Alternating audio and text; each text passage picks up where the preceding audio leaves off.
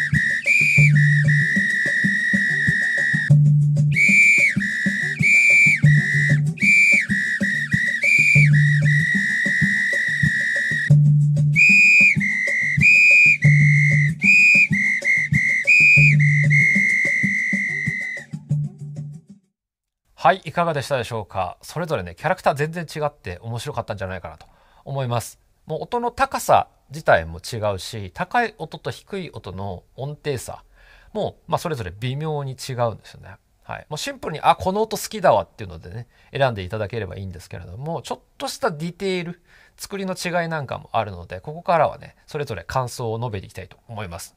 はい、ではまず大手ですね、LP、えー、金属製のサンバホイッスルとプラスチック、こちらは LP アスパイアっていうですね、廉価版のモデルになっています。中は両方とも円柱状のコルクが入っています。はい、LP の印象はですね、思ったより抜けないなっていうのがあります。はい、金属に比べればプラスチックの方が若干抜けやすいかなという感じではあるんですけども、どっちもですね、こう入れた息の量に対して音になる割合が低いっていうか、ちょっとこうね、控えられてるっていうか、抑えられた感じがあります。はい。で、音もちょっとくぐもった感じっていうかね。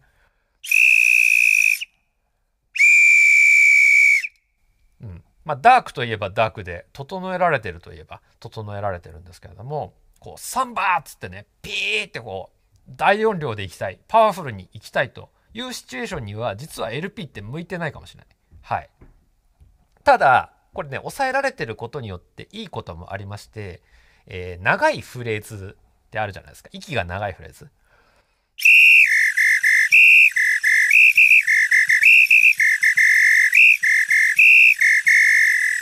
はいみたいなのってこうねふーってこうずっと息吹いてるからだんだん苦しいっていうかね辛いんですけれども比較的ねこう抑えられてることによって逆に息が長いフレーズが吹きやすいっていうか、えー、息が持つ仕様になってるんだなっていうことが今回吹き比べてみて分かりました。はい。なので大音量とかねド派手に行きたいわという時にはあんまり向いてないかもしれない、えー、ですけれども、まあ、フレーズ、えー、吹きたいちゃんとこうね高い低いをいろいろこう散りばめてですね、えー、フレージに吹きたいわという時には向いてるかなと思いました。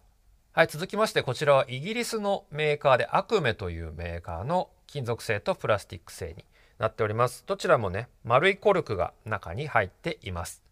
で、今回試した中でこのアクメの2種類がですね、唯一この口先のところに出っ張り、取っかかりがついていて、口に加えた時に落っこちづらくなっているっていうのがあります。はい。これ非常に実用的っていうかね、他のやつはここがつるんとしてて、吹いてるとね、口からポロってこう、落っこっちゃうっていうことがあるんですけれども、これ非常に考えられてますね。はい、もうこちらはですね、聞いた瞬間に、あ、サンバだっていうかね、カーニバルだっていう印象なんじゃないかなと思います。音もでかいですね。はい。特にこのプラスチックの方はね、めちゃくちゃパワーがある。はい。ちょっと自分で聞いててうるさいぐらいの感じです。はい。さっきの LP の吹いた息の量に対して音になる割合が低いっていう話があったと思うんですけども、こっちは逆ですね。もう吹いた息がそのまま全部音になってるっていう感じ。はい。ただそれゆえにね、デメリットもありまして、これね、長いフレーズ難しいです。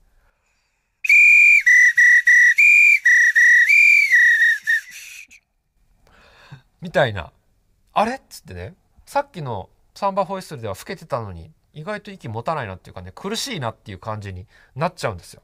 だから、一発の大音量、ここぞっていうね、ピーっていうやつにはいいかなと思うんですけれども、さっきみたいな長いフレーズ吹きたいなっていうのはね、難しいです。はい。もしかしたらね、管楽器とかやってた方ならできるのかもしれないんだけれども、私ちょっとこれだと苦しいなというふうになりました。はい。なので、まあ、サウンドはね、あ、ザ・サンバの音、カーニバルの音っていう感じなので、サウンドで選ぶならこれっていう感じになる方も多いかなと思いますけれども、意外とこうね、長く吹くの難しいというところだけ押さえていただければと思います。はい、続きまして、ビッグボーイのサンバホイッスルです。金色と黒、あともう一つね、銀色っていうのがあるんですけれども、これおそらくなんですけどね、中身全部同じですね。この外側の塗装だけが違うという感じです。はい。で、中はね、ストローみたいなものが入っていますね。はい、ピックボーイから何種類か出てますけれども、これどれも音は同じですね。はい。なので、見た目は好みで選んでいただければと思います。はい。これは LP のサンバホイッスルと非常にこう水槽感が近いっていうかね、えー、ちょっと息がこう抑えられる感じがあって長いフレーズが吹きやすいっていう感じです。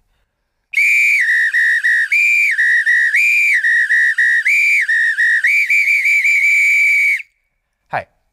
その分ちょっと音量パワーは抑えられてる感はあるんだけれどもなんかこうフレーズを、えー、吹きたいっていう時には LP と同様にいいんじゃないかとっていうかまあ LP のサンバホイッスルをこれ元にして作ってるのかな？みたいな、えー、印象です。はい。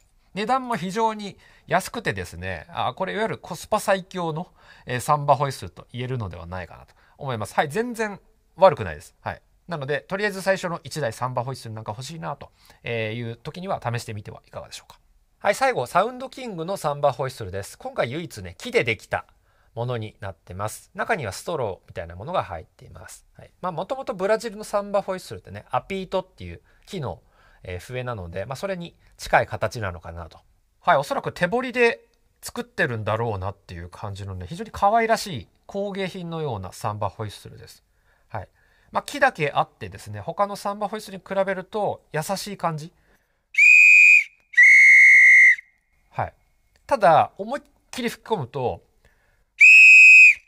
意外とパワーも出る。音量も出るのでですねあこれ1台あれば結構いけるんじゃないかっていうかね、えー、少人数のアコースティック、えー、な編成から、まあ、大人数まで、はい、ただ木なのでですねまあ何年も使って湿度とか経年変化で若干水槽感をね使っていくうちに変わってしまうかもしれないんだけれども今パッと吹いた印象これかなりありだなっていうかねすごく好きです。はい。はい。というわけで今回はサンバホイッスルの吹き比べやってみました。今回試したものに関してね、何か知りたいこと、疑問などあればコメント欄に書いていただければと思います。はい。ではこんな感じでこのチャンネルではパーカッション情報もりもり発信しておりますので、チャンネル登録、高評価、えー、よろしくお願いいたします。それではまた次の動画で会いましょう。高文でした。バイバイ。